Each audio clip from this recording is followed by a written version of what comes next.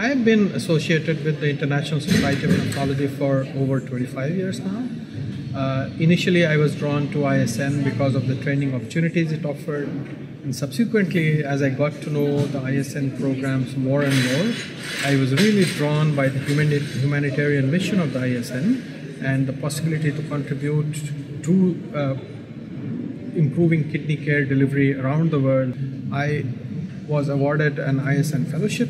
Uh, this allowed me to come back and set up a basic science research lab in my own institution in India.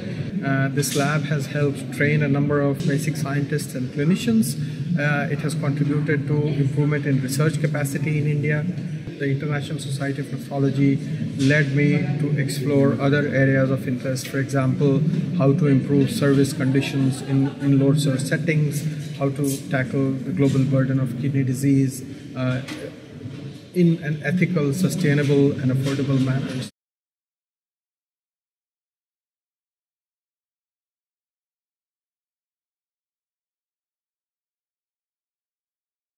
Uh, I would like to make a specific mention of the Scientific Writing Academy course, uh, which was held uh, in Bangalore in the year 2017, uh, and it was attended by about uh, 20 uh, aspiring nephrologists from South Asia.